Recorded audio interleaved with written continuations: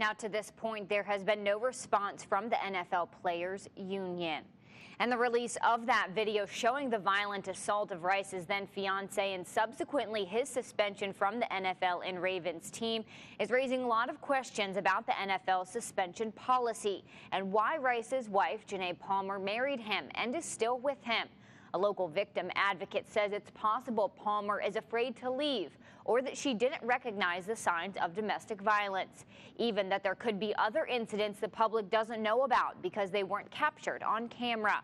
But today's tougher new domestic violence policy released by the NFL is a step in the right direction for those who commit crimes of domestic violence. Something's working. I think that's what our reaction is right now we've always been out there. We've always been trying to advocate for domestic violence victims. And I think because of who it was and the recording, you know, video footage, um, it caused such an uproar that everyone just, you know, just decided to speak up about it and say, no, a two-game suspension was not good enough. And if you or a friend is experiencing signs of domestic violence, don't be afraid to ask for help or encourage your friend to do so. Don't force your friend to leave, but instead listen to their story.